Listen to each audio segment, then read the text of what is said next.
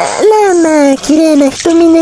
自称眼球マニアのおばの部屋には、世界中の多種多様な生物の本物の眼球やレプリカ、眼球図鑑が飾ってある。否定する気はないけど、なんだか気味が悪い趣味だから、僕はできる限りおばとは話したくない。数年前に旦那さんと死別してから気が狂ったのかと思っていたけど、どうやら昔から動物の眼球が好きだったらしい。そして、そんな気味の悪いおばの家に行く機会があって、行くことになった。お邪魔します。人間とは不思議なもので、恐怖心があったり、気味が悪いと思っていても、どうしても見たくなってしまう生き物だ。あらまあ、いらっしゃい。おばがキッチンで食事の支度をしている間に気づかれないようにそっと部屋に入った。壁には眼球リストと書かれた変な張り紙がしてあって、そこには珍しい生物の名前がずらっと書かれていて、すでに集めたものには×印がついていた。高弘×。それは間違いなく、おばの旦那さんの名前だった。さらに下に行くと、なんとそこには僕の名前があった。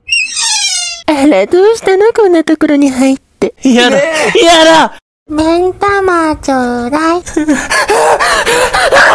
この日は夏祭り。射的、綿菓子、金魚すくい、焼きそば。晴れた夜空には、綺麗に輝く大きな花火が打ち上がる。彼女と一緒に金魚すくいをしようと屋台に行くと、小学校低学年くらいの狐の面をつけた女の子が一人、屋台の脇で僕らの方をじーっと見つめていた。右手には大量の金魚が入った袋。どうしたの？もしかして、迷子になっちゃった？そう聞くと突然、その子は人気のない山道の方へと走っていった。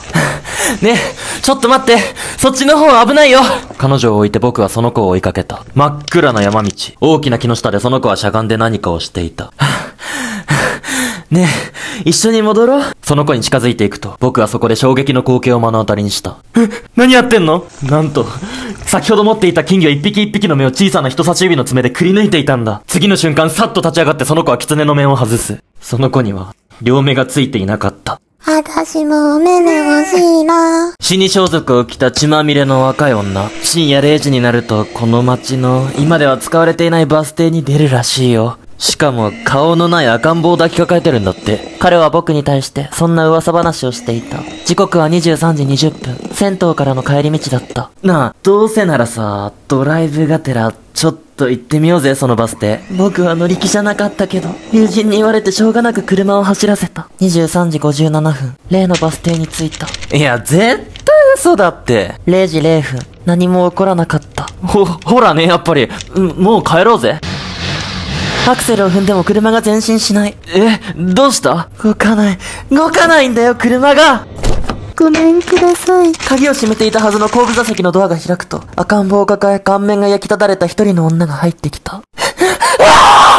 目覚めると夜が明けていて、助手席には全身が焼き焦げた友人が座っていた。暑いよ。暑いよ。もだえ苦しみながら必死に泣き叫ぶ子供の声。友達と二人で旅行に行っていた時の出来事だった。深夜2時頃、田舎町の旅館、外の方から痛々しいその声は聞こえてきた。なあ、お前も聞こえる？この声。もちろん。気になった俺たちは外に様子を見に行ったけど、そこには誰もいなかった。ねえ、あれ、なんだろう？駐車場近くにあった花壇の土の中から不自然に何かが剥き出しになっていた。恐る恐る土を掘ってみると、それは、なんと、白骨化した子供の頭だった。ちょっと待って。さすがに、本物じゃないよね。いや、多分これ本物だよ。俺らは怖くなり、すぐに部屋に戻る。暑いよ。ここから出してよ。その声はさっきの花壇の方から聞こえてくる。仕方なくまた様子を見に行くと、花壇の上には旅館の女将が座っていた。あら、こんばんは。女将は笑いながら、子供の頭蓋骨にタバコの火をぐりぐりとこすりつけていた。あれは、ちょうど3年前のお盆の時期、友人と海に遊びに行って、バーベキューをして、その日は民宿に泊まった。深夜1時、虫の鈴の音が聞こえる中、喉が渇いた俺は近くの自販機に水を買いに行った。街灯も少なく、こんな時間に誰も外を出歩いている様子はなかったけど、数十メートル先の方から子供の声が聞こえてきた。遊ぼう。誰もいない。遊ぼう。また聞こえてきたけど、俺は諦めて宿に戻った。どうして遊んでくれないの？構わず宿へ向かう。水を飲んで寝ようとしてもなかなか寝つけない。すると、急に部屋の窓が開く。えー、どうして遊んでくれないの？すると、外から黒い霧のようなものが部屋の中に入ってきて、俺の近くまでやってきた。叫ぼうとしても声が出ない。それが最後の記憶で、目覚めると俺は病室にいた。友人曰く、俺は3日間ほど意識を失っていたらしい。そして俺は無意識に友人に言った。ねえ、遊ぼう？お盆の時期に海に行ってはならん死ぬぞ当時小学生だった俺は、そんなばあちゃんからの忠告を無視して、お盆の時期に兄貴と一緒に海に行った。後悔することになることも知らずに。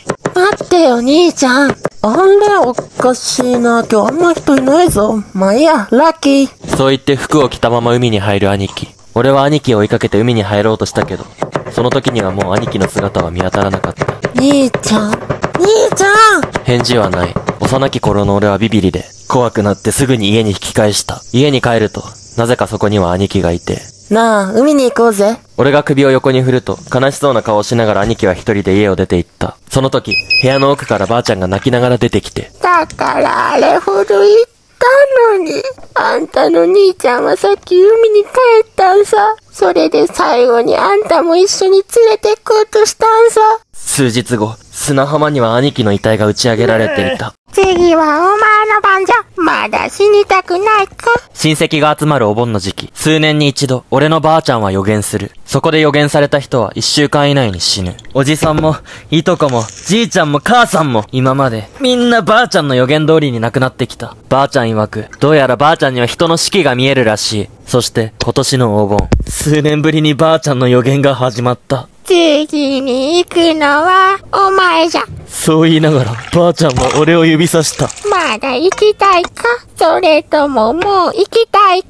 俺は無反応でただばあちゃんの目をじっと見つめた。俺は知っている。ばあちゃんは予言なんてできない。今までの人たちみんなばあちゃんに殺されたんだ。深夜2時、俺は片手に縄を持ってばあちゃんの部屋に行き、意を決して布団を思い切りめくった。しかしそこにばあちゃんの姿はなく、あったのは俺の顔が貼り付けられた大量の藁人形だった。胸には釘。その瞬間俺は悟った。やっぱり俺、死ぬんだ。わしに近づくでないばあちゃんはそう言うと、自分自身の白髪を片手いっぱいにむしり取り、目の前のベッドに置いた正方形の白紙の上に投げた。ペホイミ、ペホイミ、ペホイミ泣きながら謎の呪文を唱えるばあちゃん。そんなことしても、じいちゃんは戻ってこないよ。夕食中に急に倒れて意識を失ったじいちゃんは救急車で病院に運ばれたけど、そのまま息を引き取った。じいちゃんの葬儀の翌日、後を追うように、ばあちゃんは自室でうつ伏せになって死んでいた。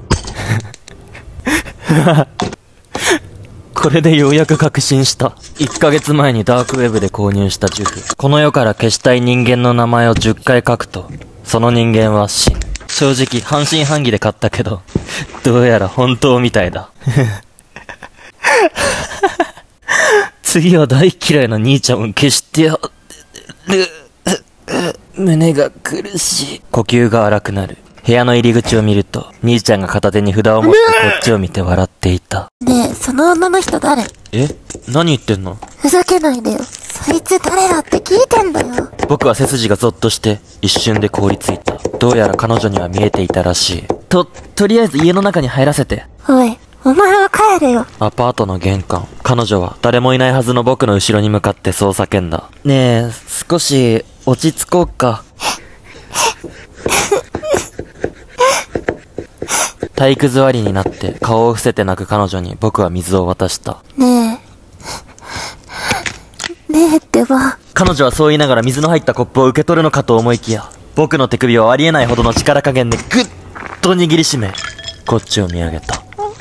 あ、あんた、いつになったら、この女と別れてくれるの？